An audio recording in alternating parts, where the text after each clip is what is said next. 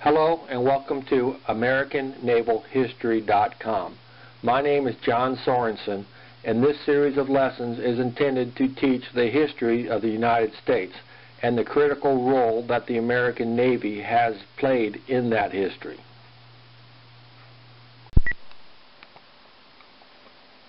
Today I want to talk about an episode in the history of the Revolutionary War known as the Penobscot Expedition. Now the Penobscot Expedition was probably one of the, one of the worst, if not the worst, naval disaster in all of American history. In one day, we lost 19 warships and maybe 20 transports all in one day. It was probably the worst day in the history of the United States Navy. And probably, though, the, the most ironic thing about this defeat was that the, the mission that these ships were deployed on was virtually meaningless to the, to the whole effort of the war. In the big picture of the war, this mission that these ships were on was totally meaningless. Okay, I want to show you all this overview map to get a, a, pic, a, big picture of what's going on in the war during the summer of 1779. Okay, you can you can see up there on the far right, you see Halifax. Up there, it's, it's on the island of Nova Scotia, which is part of Canada.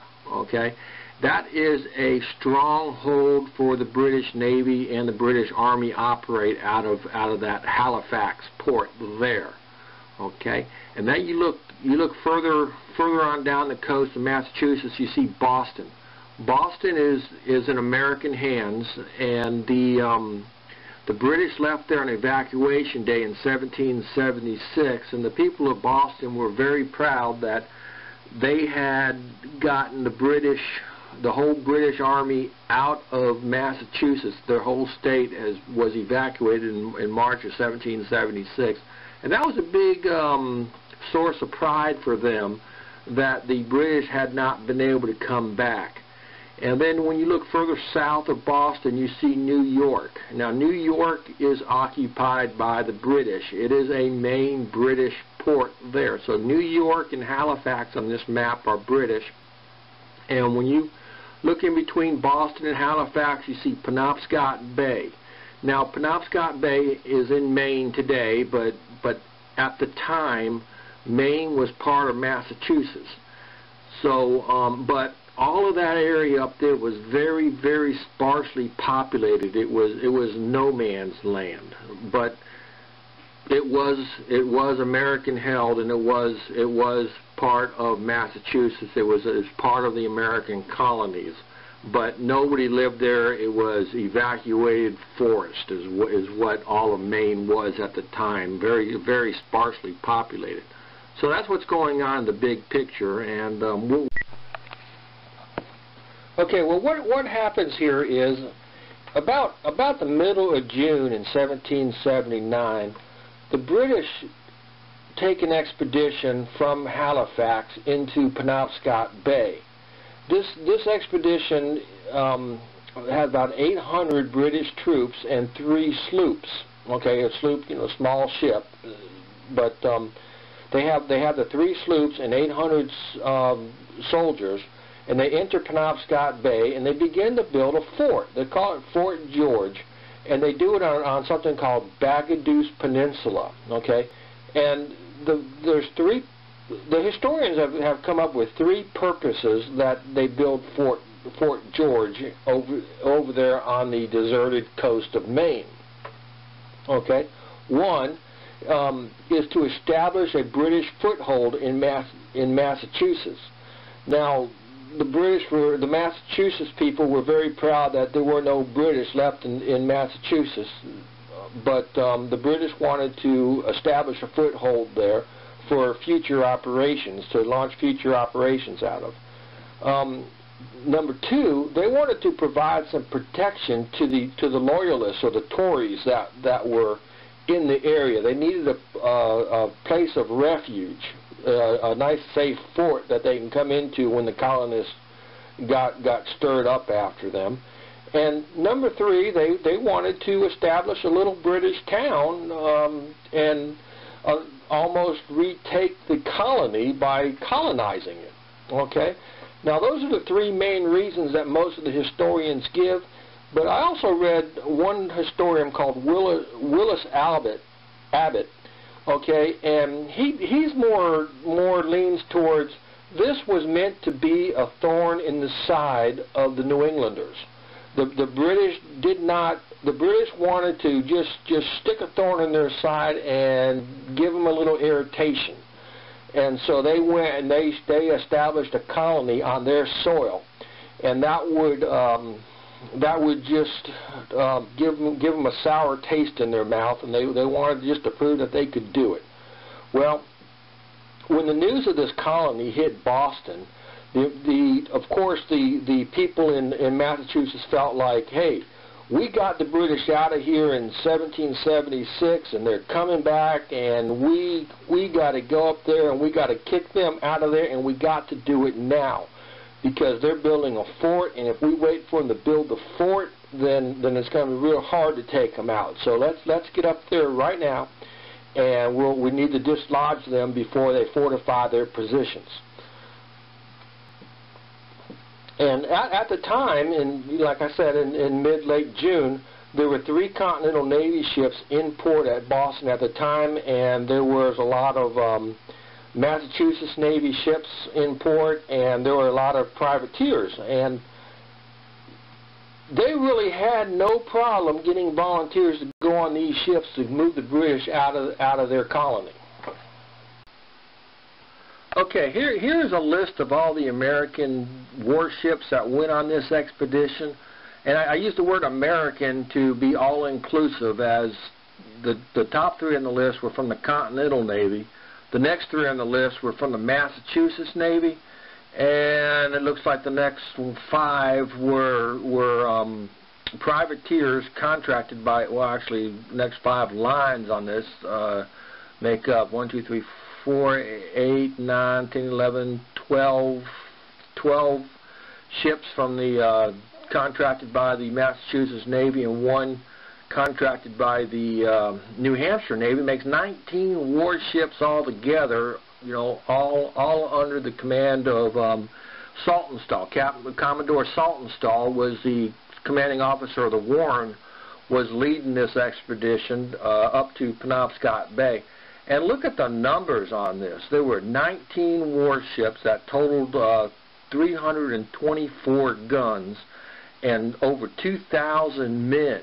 And there were about 20 transport ships that went along with the 19 warships. So we're, we're up to about 39 ships here going in, going on this expedition to dislodge um, three small British schooners with 800 soldiers. Okay, they the expedition left Boston on July 21st, 1779, and arrived in Penobscot Bay on July 25th. Um, the British schooners were the North had 20 guns, the Albany had 18 guns, and the Nautilus had 18 guns. So you're looking at a whole fleet of three schooners with 56 guns total against 19 warships with 324 ships, 800 men against two, against over 2,000 men. By far, the the Americans had a superiority in numbers. I mean, it wasn't even close. The, um, numeric, numerically wise, and the British had not built their fort yet. All they had up there was a, a breastwork on the top of the hill. Well, on the 25th of uh, July, when the when the American fleet arrived there, a, a battle commenced right away that day, and they they shot they shot at each other for about two hours, and not much damage was inflicted on either side. And then all of a sudden, the wind shifted so that the American ships could not support each other. Okay, the the the they they couldn't support their the lines that they were in, and they couldn't they couldn't defend each other. So the Americans, they ceased fire and they, and they stood off at a distance overnight and they, actually they stood off until July 29th. When what what happened on July 29th was um, they sent in the Marines to. Have, let me, let's go to the next slide and we'll talk about that. Okay, well, when the when the Americans arrived at Penobscot Bay, the British ships were, were lined up in the passage between uh, Nautilus Island and the Bagaduce Peninsula. That's Fort George up there in the middle of the Bagaduce, Peninsula, and that's way up a hill. And the, the British on Nautilus Island have a an artillery battery. They got cannons on, you know, protecting protecting that waterway, protecting that sea passage there between Nautilus Island and um, Bagaduce Peninsula. So the Americans they, they, they stood off overnight, and the uh, the British the British fleet I call it the the three British ships were under the protection of both Fort George, you know, um, and the and the shore battery on Nautilus Island. Well, on the uh, 29th of July, the the Americans they got all the Marines off of all these 19 warships. They collected all the Marines in one place, and the Marines landed on Nautilus Island and took it over. Look real closely at the, at the map there. When the when the Marines took over Nautilus Island, the flag turned from a British flag to an American flag and the British ships, they moved out from under the protection of Nautilus Island way back to where they could be protected by the fort and out of the range of the cannons that were now in American hands on Nautilus Island. And actually they were in um, American hands. They were, Paul Revere was the artillery officer in this expedition. But uh, let me let me show you how that how that works again. This is really neat. Notice how when the flag changes on Nautilus Island, they um, the the British ships move back. Now I'll, I can do that again. Hold on. There, you, you see at, at the beginning when the when the British are on Nautilus Island, the British ships are right there under the protection of those cannons. And now watch. when the Americans take over Nautilus Island, the British the British ships they back way up and under the protection of Fort George and out of the range of um, Nautilus Island. Okay, so so losing Nautilus Island, um, losing that shore battery caused Captain Mowat to uh, to withdraw his ships where the, where they would be protected by by the guns out at Fort George. At this point, Fort George was nothing more than a breastwork. Okay, they were they were rapidly trying to to um, make it into a fort, a stronger fortification, but early early in this battle, it wasn't much more than just just logs laying on top of each other as a breastwork. Okay, in the meantime, while the Americans were, were taking over the battery on on Nautilus Island, the British down down in New York City. Now, remember the British were in New York City. Okay, they learned about this expedition and, and they deployed their ships from New York up to Penobscot Bay. Okay, and the the Americans they also hit the beaches on Bagaduce. Uh, I would say on Bagaduce Peninsula. And that's the main peninsula where Fort George is located there on the map. Okay, they successfully the Americans. I mean, they um, successfully took took a, took over a couple of outer defense positions that were protecting the fort, and the, the and they forced all the British soldiers back into the fort. So they didn't have their little outlying uh, uh, fortifications or little out, outlying batteries anymore. And the Americans uh, came within uh, 500 yards of, of Fort George at the time. And um, also, also on July 29th, the the American the, this is what the American plan was at this point. Okay, they, they were to have the Navy attack the three British schooners so that the Army and the Marines could attack the fort. You see, the, the, the British the British Navy gunfire was in was in position to uh, protect Fort George and prevent the Americans from attacking it. So the so the American Navy ships were supposed to attack the three British schooners, okay, which would allow the Army to attack the fort. Okay. But then unfortunately, as, as this plane was supposed to commence the next day on July 30th, the American naval commander, uh, Commodore um, Saltonstone, Saltonstall, okay, he got cold feet. He he decided that it, he did not he did not want to put any of his ships at risk of being fired upon by by the British fort up on the hill. because if he moved in closer to the to the British ships to uh, fire at them, he'd be he'd be under the reign of the uh, British British uh, shore batteries in the fort, and he didn't want to do that. So um, so um, Saltonstall he agreed to attack the three British schooners, but not until after the army took the fort. And the army they they agreed to take the fort, but not until the navy took the three British schooners. And there was a stalemate between the American Navy commander and the American Army commander. And this indecision and bickering went on for several days. Okay? It lasted over a week. And remember, and each day that this is happening, the the British were constructing their their fortifications, making their making digging in their position, making their making it harder and harder to dislodge them. And also the British Navy was approaching from New York. And so if the Americans were going to dislodge the British out of Penobscot Bay, they had better do it in a hurry. Because one, it was getting harder to take the fort, and two, the British Navy was on its way. Okay? And word, word of the standoff got back to Boston. And orders were actually written in writing to Saltonstall telling him to move against the British schooners. Okay? But by the time those orders arrived, it was too late. Okay, because on August 13th, two weeks after after they could have attacked, the British fleet arrived with one ship of the line. I mean, I'm talking about a ship of the line with 64 guns on one ship, five frigates, and you know, frig frigates are the uh, 44, 38 gun ships, and there were five of them and in another sloop. Okay, so you got a lot of firepower coming in on the British side, and they're coming right up the bay, and they and just just their arrival sealed off the American escape path. Okay, and they bottled up all 19 American ships and the 20 transports. They bottled up. They bottled them up in the bay, and they could not escape to the sea. They could. They had to flee up the river. Okay, what happens when you go up a river? the the river gets gets narrower and the narrow, and the river gets shallower the further you go.